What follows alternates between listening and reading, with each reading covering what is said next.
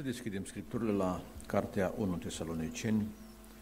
Voi citi versetele 6 la 13. 1 Tesaloniceni, capitolul 2, versetul 6 la 13.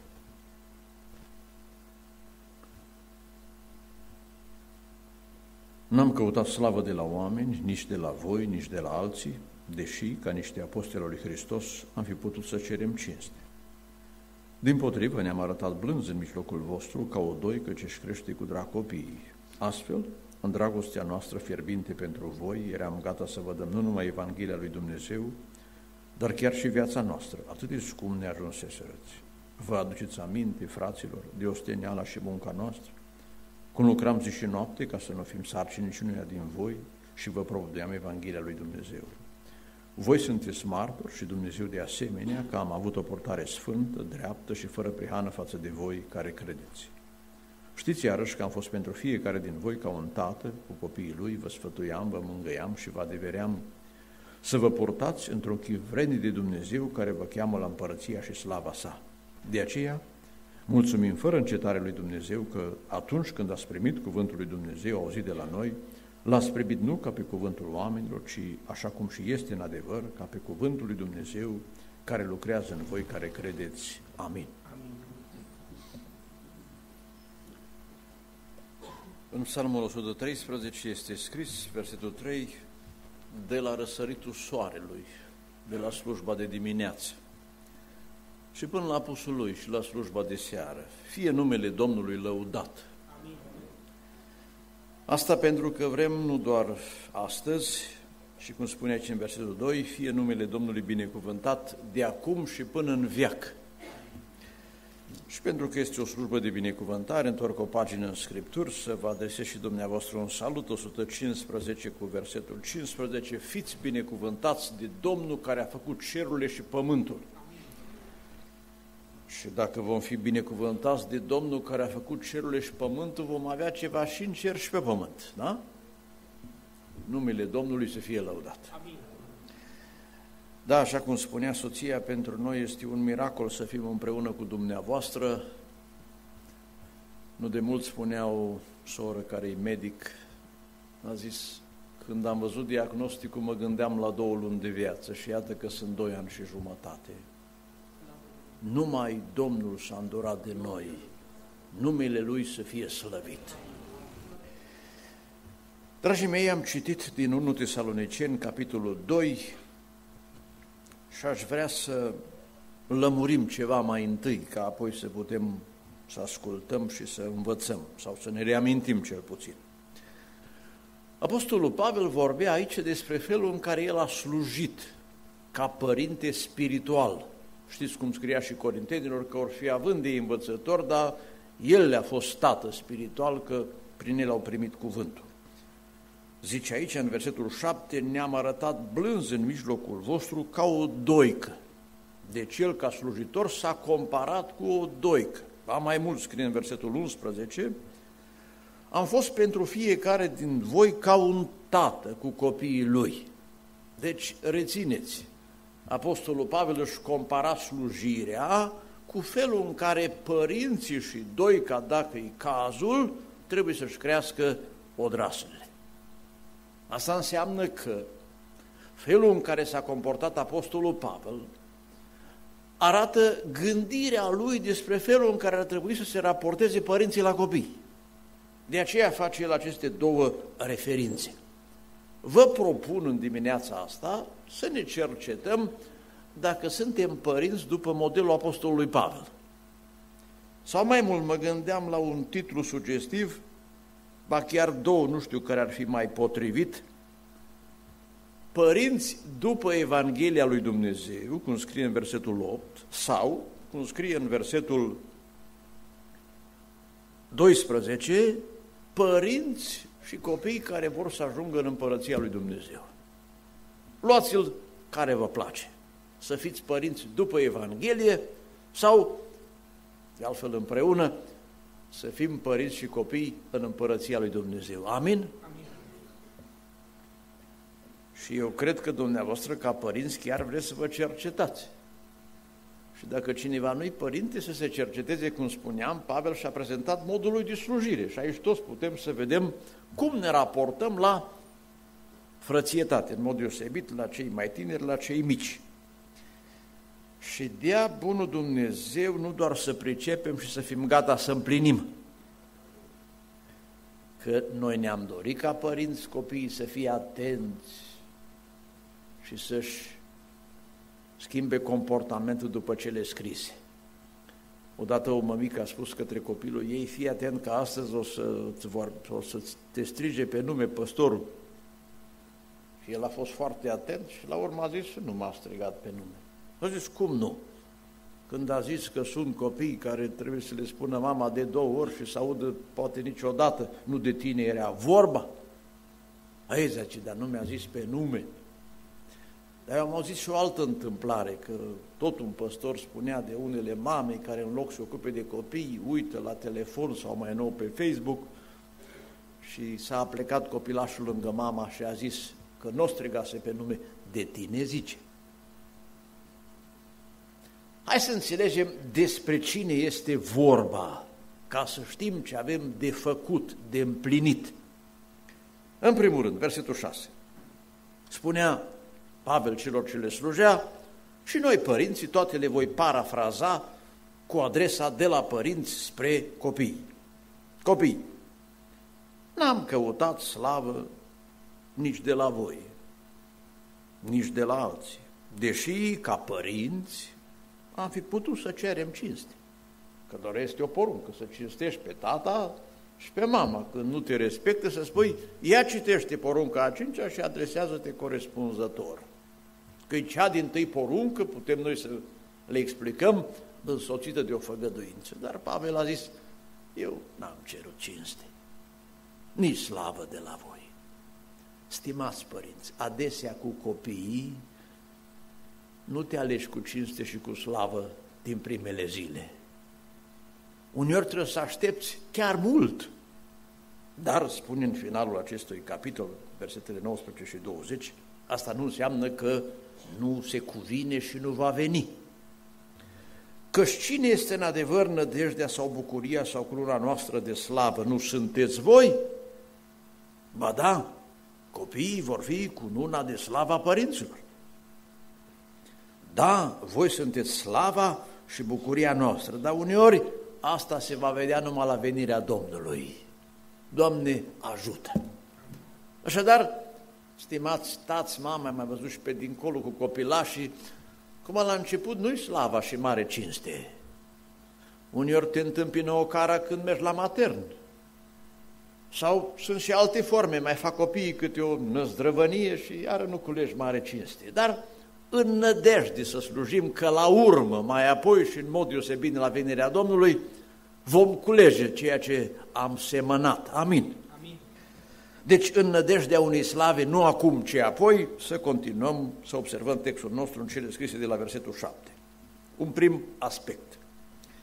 Din potrivă, deci nu căutând slavă, ne-am arătat blânzi în mijlocul vostru, ca o doică ce-și crește și accentuez cu drag copiii. Astfel, în dragostea noastră fierbinte pentru voi, și noi ne adresăm copiilor, eram gata să vă dăm nu numai Evanghelia lui Dumnezeu, dar chiar și viața noastră, atât de scumpi ne ajunseserăți. Vă sunt dragi copii? Amin.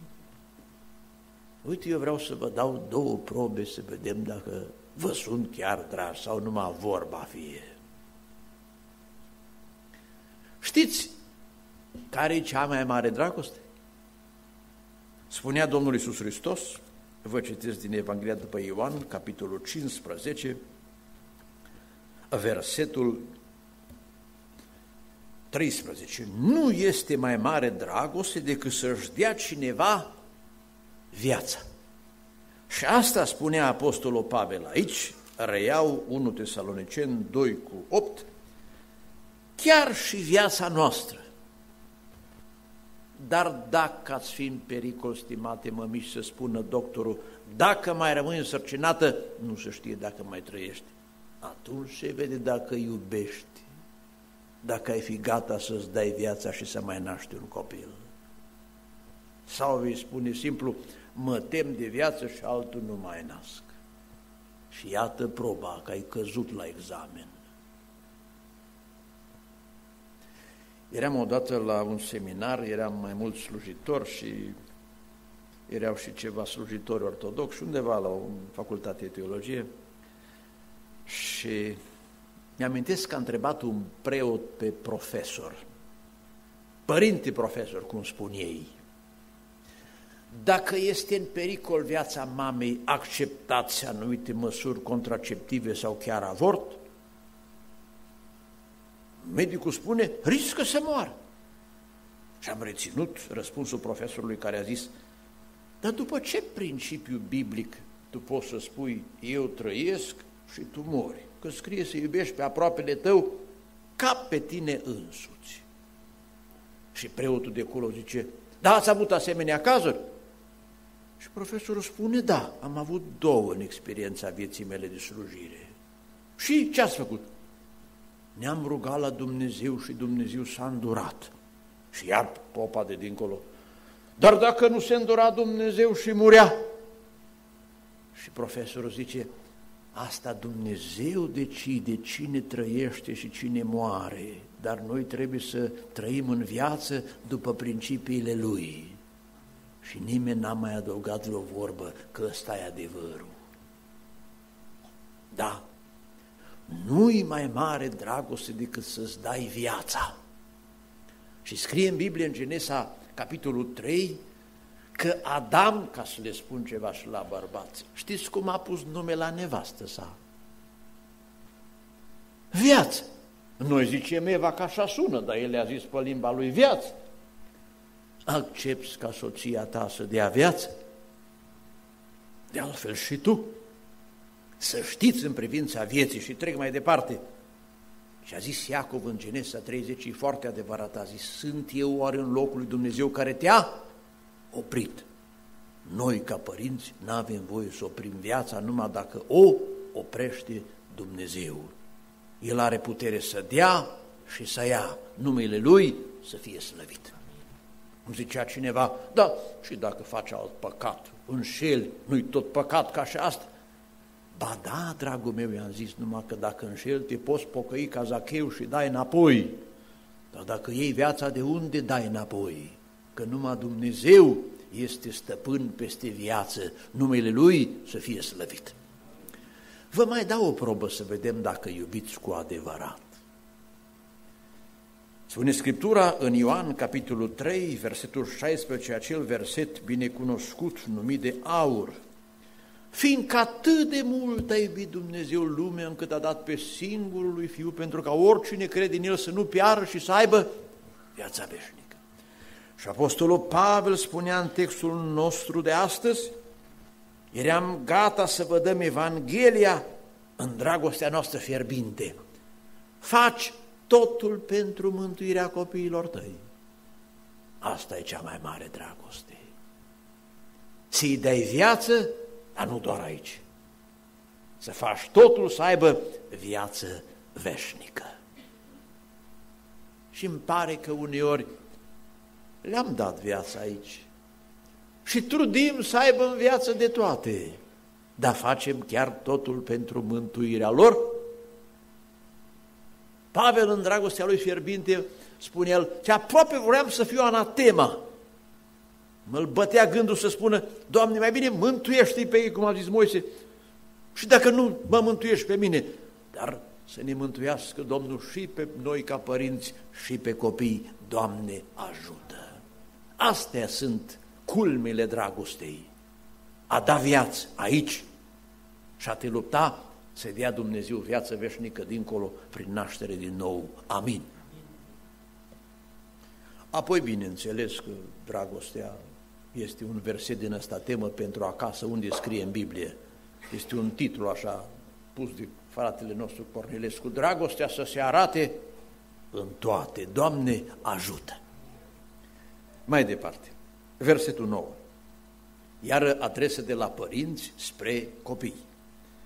Vă aduceți aminte copii de osteneala și munca mea și a lui mamă ta, cum lucram zi și noapte ca să nu fim sarcini niciunuia dintre voi, ca să vă puteți odihni, să aveți timp de teme și va mai lăsa și timp de joacă.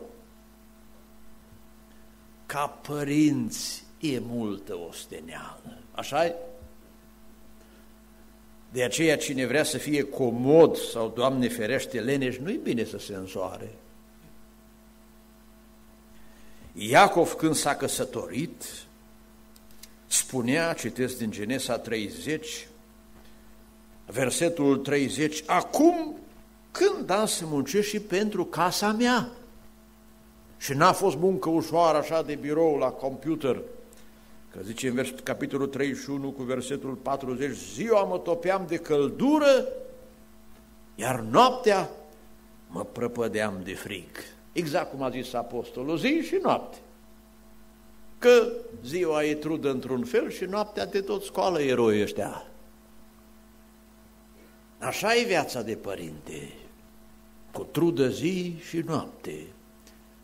Avem în biserică o familie cu 18 copii, au rămas în viață toți și spunea fratele, sora, în vremea aceea, că sunt mai în vârstă, nu erau mașini de spălat și de toate, zice, până noaptea spălam, dimineața se scula de grabă că era șofer pe autobuz, Sora spunea, cum erau 11 băieți, unii mai zbordani, șapte fete, a zis, mă apucam după ce au mai crescut să-i număr prin camere. Dar zice, cum mai săreau, trebuia să număr de două, trei ori, că-ți minteam numărătoarea. Și tot a fost când nu a fost unul acasă și n-am știut că era la ceva mătușă și am uitat. Și să-i numeri greu, așa -i? Am fost odată în Austria, la Viena, la Emanuel, la o binecuvântare, era o mămică, sora Lavinia, lui fratele Adi Belbe, la 28 de ani era la binecuvântare cu al 11-lea, că s-a măritat la 16 ani și lângă ea era una cu primul și am zis, nu ți frică de ce poate urma? E trudă. Dar a zis Domnul Iisus Hristos că niciun pahar de apă nu rămâne nerăsplătit. Dreptui. Apoi, la o mamă numai ciorba dacă o cântărește Domnul și felul 2 și dacă numără bucățile de prăjitură, cum s-a întâmplat la o familie, familia Gligor de la Izvin, 16 copii, sora se gândea, Doamne, dar eu n-apuc să mă duc așa în lucrare, la biserică, mai trebuie să lipsesc copii, sarcini, trudă, mai bolnavi. Eu cu ce răsplată mi-adun pentru împărăția ta? Și a trecut un frate prin casa lor și a zis, sora, am văzut că a venit un înger, avea un teanc de scutece, că atunci nu era cu pampers. Și le-a cubat așa pe toate, le-a măsurat și-a notat. Valorează cât trei zile de post și de slujire. Până le-ai spălat și le-ai pachetat acolo și a zis bărbatul, de acum eu le fac. Da, truda asta de zi și noapte, uneori nu văd copiii ca să-ți aducă cinste, dar v-am spus că e la urmă slava și cinstea pentru astea. Că Dumnezeu nu-i nedrept să uite ostenelele, numele Domnului să fie slăvit. Nu în toate țările se dă alocație suficientă sau pensie.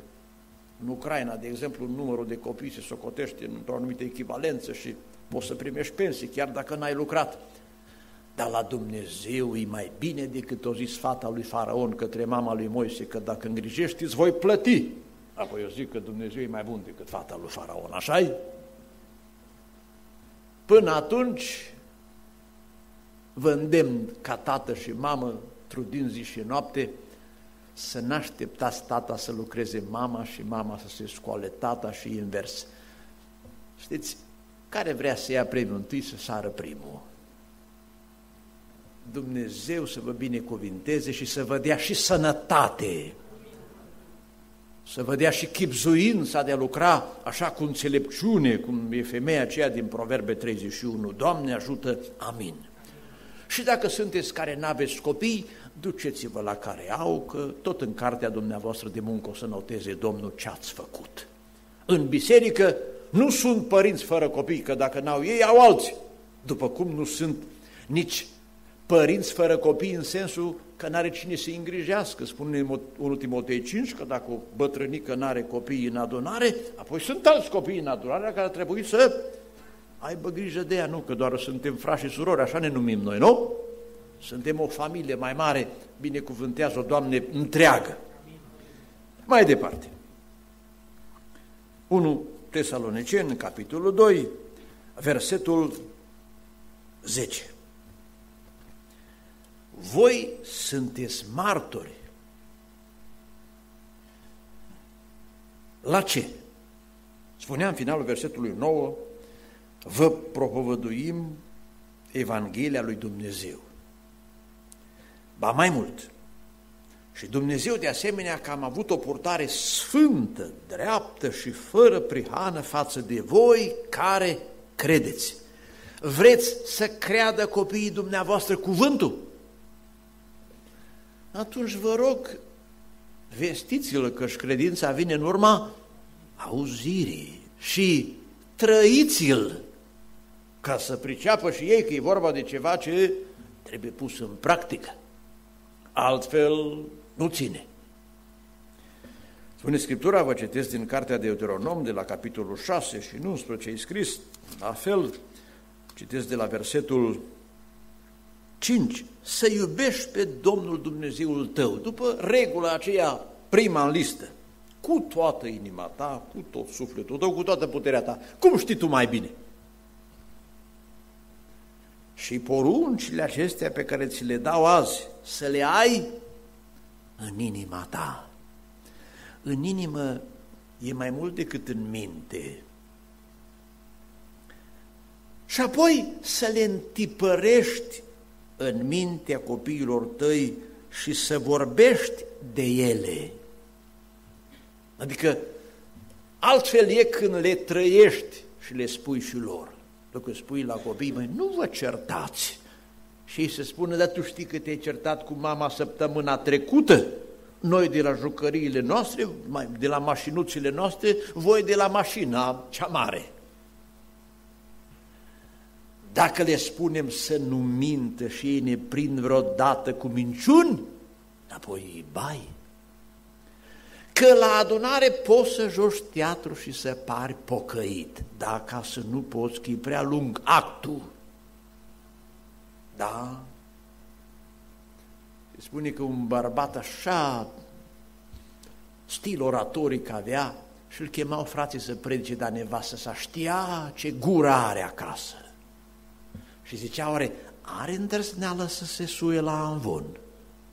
Dar când îl auza ce frumos predică, parcă uita și zicea, băi, de nu te-ai mai de jos, că acolo așa fain zici. Ei, copii, te aud și te contrazici singur, vor spune ca și Gedeon către îngerul Domnului ce l-a vizitat. Unde sunt minunile acelea cine le povestește tata? Că de povestit povestea. Și eu zis îngerul, da, da, da, la tata tău acasă e problemă, acolo e parul astartei, bițelului bal, lucruri amestecate, ca o mamă din judecător 17, i s-o furat banii. Și au zis, blestema, bine că nu scrie cum.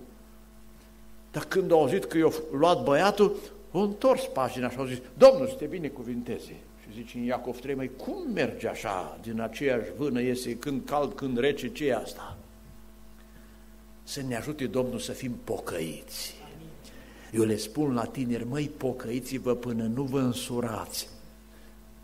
Spun la băieți, să nu afle nevastă ta cine ai fost tu, că Dumnezeu uită. Și apoi când văd că s-au însurat și tot nu s-au pocăit, le zic, măi, măcar acum în al 12-lea ceas, măcar să nu afle copiii cine ați fost, că ăștia nu vă uită în grabă. Da, acasă trebuie să fii pocăit. Doamne, ajută! A zis Pavel, voi sunteți martori și, bineînțeles, Dumnezeu, că am avut o purtare sfântă ce-ar fi să trecem noi acolo în dormitor sau în sufragerie, în bucătărie, unde vreți? și să-ți amintești, scumpă soră, că tu ești o sfântă. Când vorbești în toate, să știi că ești drept. Dumnezeu iubește, e prima. Apoi, smerenia și mila, prima e dreptatea. Și fără prihană față de voi care credeți. Mai așa îi ajută să creadă. Da? Foarte important asta.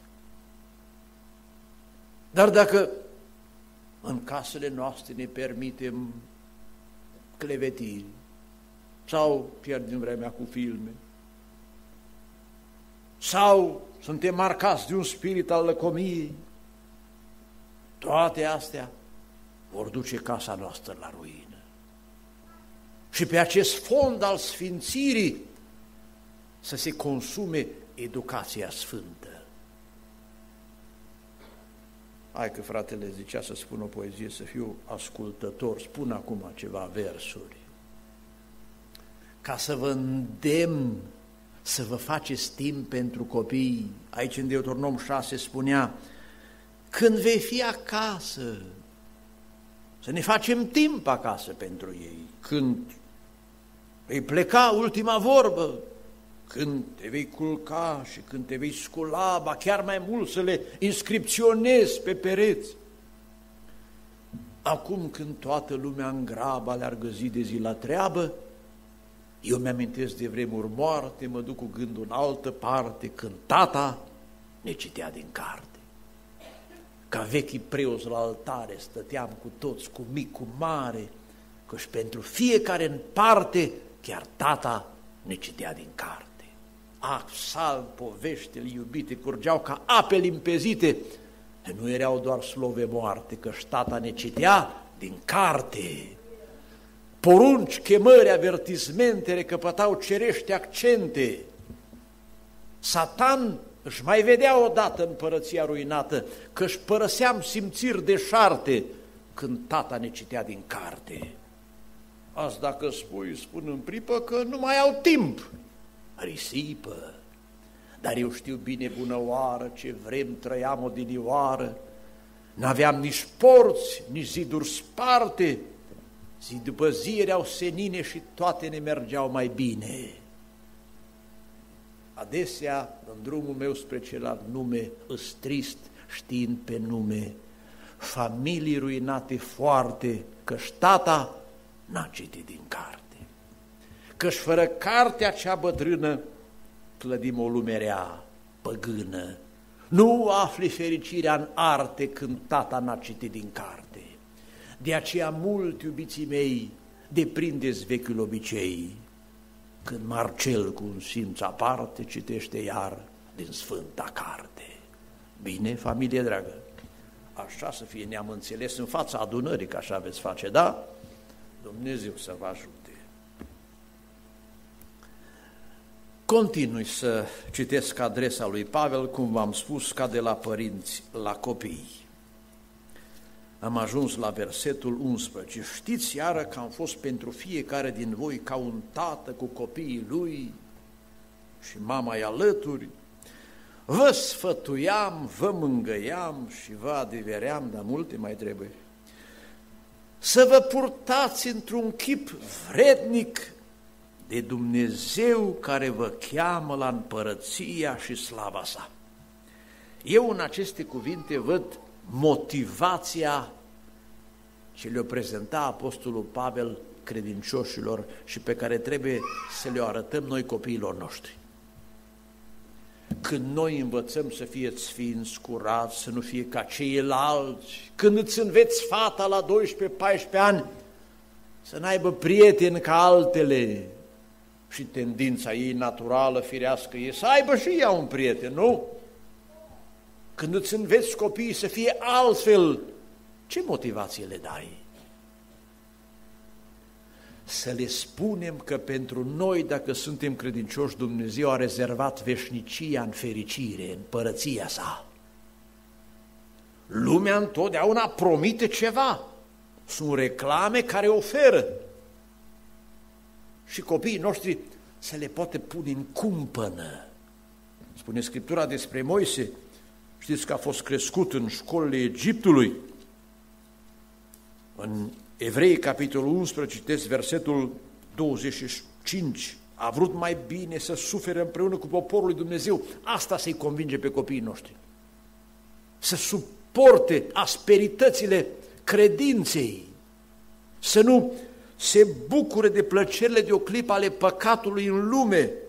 Cum? Versetul 26. El socotea, a făcut calculul. O cara lui Hristos ca o mai mare bogăție decât comorile Egiptului pentru că avea ochii pironiți spre răsplătire. Să le spuneți, măi copii, lumea asta trece, cum spune și 1 Ioan capitolul 2. Și cum zice un alt vers, frumusețea lumii trece ca și vântul prin grădin care în urma lui desface flori de tei și flori de crin. Unde-s marele vedete cântăreții sau actorii sau savanții cu renume sau vestiții luptători? Unde e lumea cu renume cât și lumea umilită care a căzut în luptă în puternica ispită? Unde-s? La coșul istoriei. Dar copiii lui Dumnezeu unde-s? În așteptarea gloriei. Diferența incomensurabilă. Da, spunea Domnul, ce-ar folosi un om să câștige toată lumea și să-și piardă sufletul? Și ce-ar da un om în schimb mai apoi? A reușit noi să-și convingă băieții și foarte frumoși nurorile, că l-au ajutat și nevasta, să le spună, măi, în timp ce zideau, făceau, cum spunea Domnul, descriind vremea aceea, noi facem o corabie că ne pregătim pentru lumea viitoare, care e după apă și acum e după foc. Și vă rog să vă gândiți, când a început ploaia și nu mai contenea și apele au crescut, vorba cuiva a zis, dacă punea noi un afiș pe corabie de vânzare, cât căpăta pe ea? Tot. Că omul la mare nevoie ca ai popoarele în Egipt, când numai, Moise, numai Iosim avea greu, au dat bani, au dat măgari, au dat tot. Până la urmă s-au vândut pe ei și șogoare și tot. Că bine o zis diavolul că omul dă tot ce are. Să-i facem pe copii să înțeleagă acum ce câștigă, cum spune și în pilda cu comoara aceea Evanghelia după, Luca, după Matei, capitolul 13, versetul 44, omul care o găsește o ascunde și de bucuria ei se duce și vinde tot ce are și cumpără țarina aceea. Așa să ne ajute Domnul să-i motivăm pe copiii noștri și să fim noi motivați în primul rând, să nu ne pierdem entuziasmul acesta. Să fim noi motivați în a-i naște, în a ne ocupa de ei și apoi în a-i motiva pe ei în educația ce le-o dăm. Poate ați auzit întâmplarea ce vă spun că un om a intrat într-un șantier, a văzut că sunt lucrări mari, a văzut niște planșe și a întrebat pe unul, zice, ce faceți? Ăsta era puțin supărat și spune, tu nu vezi? Mortar! Păi gata, nu-i de-a vorbi cu el. Se duce la altul, spune, ce, ce faceți aici? Omul avea o privire foarte limitată și spune, eu până seara am normă să te încuiesc peretele ăsta. Se duce la altul și întreabă, ce faceți? E extraordinar o să iasă o clădire, nu e alta în oraș ca asta. Care din ăștia trei lucrau mai cu, cu chef? Păi, primul spune să nu mai văd mortar. Apoi dacă te uiți numai că încă o sarcină și iară o să fie greață patru luni, apoi zici să nu mai văd copii. Apoi dacă te uiți numai la greu și numai la ispitele de moment și numai la supărări și cât mai fac copii năzdrămăriți și n-ai o privire prin credință, ajungi cum o zis cineva, băi, la asta mai bine te am capul, nu buricul. Uite ce-a făcut. Dar nu te opri la ziua de azi, că poate să privești la o mâine luminos. Dumnezeu să ne dea perspectiva eternității. Împlinisem 25 de ani de căsătorie. Și doi dintre băieți au zis, urma să plecăm la un altul la logodnă, pe când vă întoarceți înapoi să grăvim casa, că destul am măzgălit pereții până am fost mici, că scumpa mea soție a născut o fată și șapte băieți. Și acum Dumnezeu ne-a mai adăugat în același raport, 14 băieți și două fete, deci se păstrează cu șapte la unu. Ei, surpriza mare n-a fost că pe când ne-am întors acasă era toată casa zugrăvită, că știam că-s bun meseriași. Alta a fost, un tablou mare în sufragerie, au luat o poză de-a noastră așa, au dus-o, au prelucrat-o și ei s-au dus toți la fotograf, toți cei ce erau atunci, la 30 de ani l-au actualizat, suntem acolo noi deasupra, o semicer de nepoți, erau patru căsătoriți atunci, patru necăsătoriți, dar nu asta era minunea, deși soția se uita la ei și spunea, dragă, ăștia toți sunt ai noștri, sigur. Un verset deasupra și unul de desubt. Și eu, pasionat de Biblie și predicator, am zis, pe cel deasupra îl știam versetul Maleahii 3, unde spune ei vor fi ai mei, da, nu doar acum, în ziua pe care o pregătesc, vor fi o comoară. Și de desu versetul din Zaharia 9 cu 16, ăsta m-a fascinat, zic, măi băieți, eu predic de 25 de ani și zici că n-am dat de el, că e așa frumos. Căci ei sunt pietrele cu nuni împărătești, care vor străluci în țara sa. Doamne, atâta ne dorim să strălucească în țara Ta.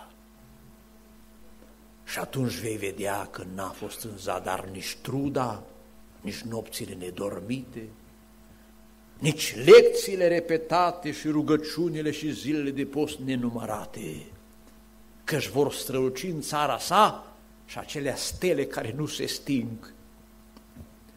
Tot ce pe lume totul strălucește și moare, dar ce aprinde Dumnezeu e veșnic și binecuvântările Lui sunt eterne, mărit să fie Domnul. Să ne dea Domnul astfel de viziune și așa să-i motivăm pe copiii noștri. Amin. Și am ajuns spre finalul celor citite, spune Scriptura aici, 1 Tesalonicen 2, versetul 13. De aceea, Mulțumim fără încetare lui Dumnezeu că atunci când ați primit cuvântul lui Dumnezeu și acum frumusețea, auzit de la noi, l-ați primit nu ca pe cuvântul oamenilor, ci așa cum și este în adevăr, ca pe cuvântul lui Dumnezeu care lucrează în voi care credeți. Vă doresc să se convertească odrasele dumneavoastră din cuvintele dumneavoastră.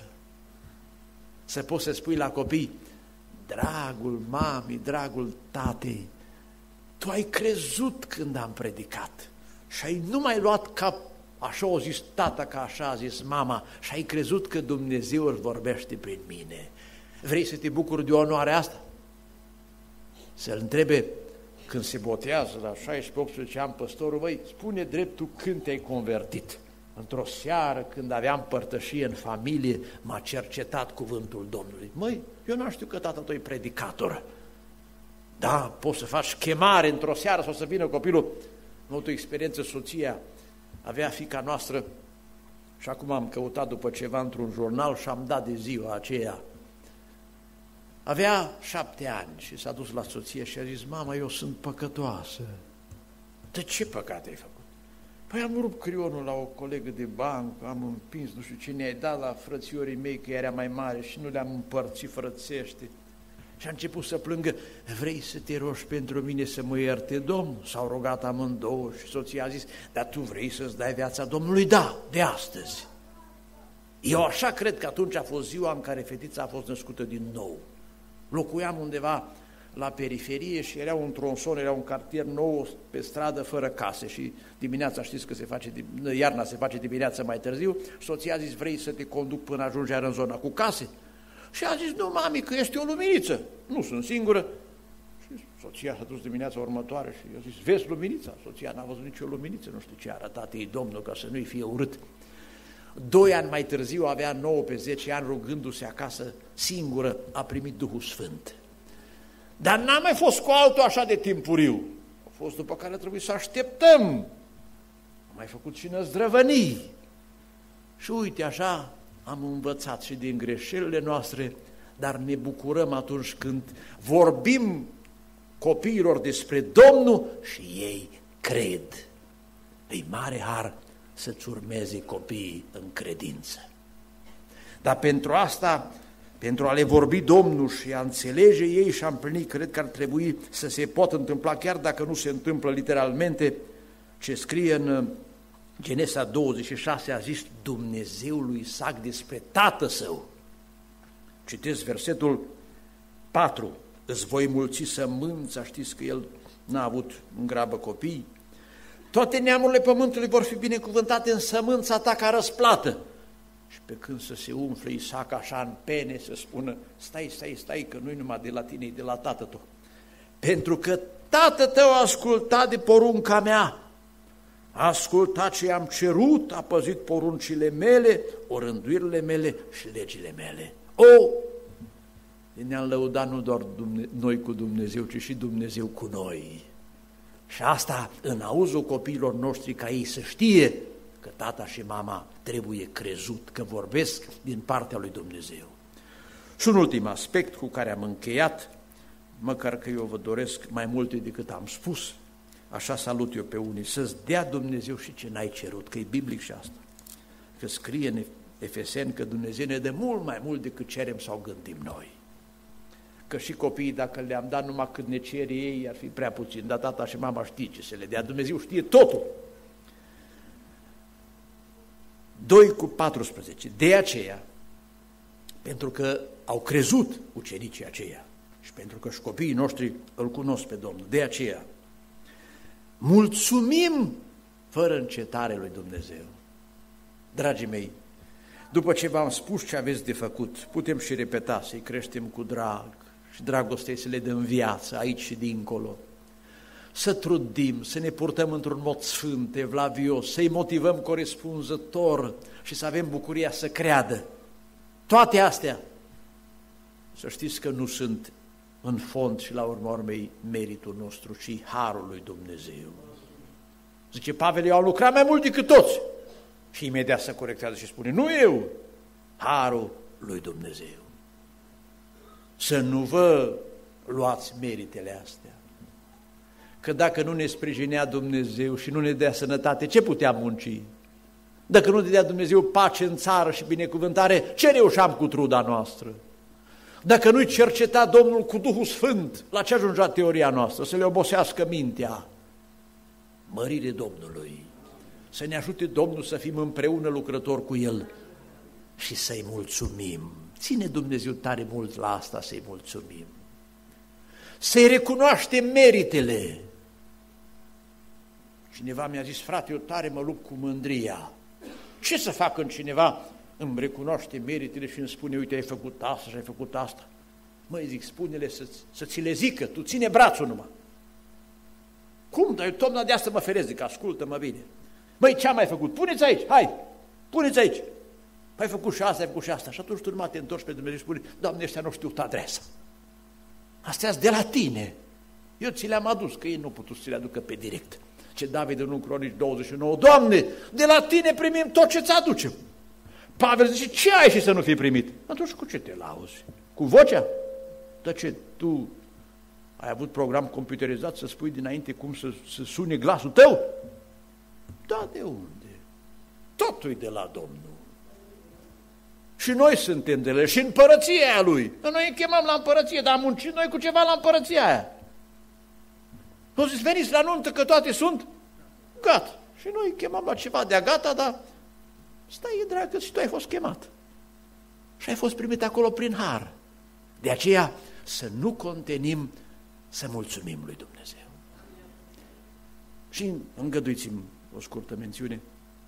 Am slujit Domnului într-o parte alta și mă mai gândeam așa la răsplată.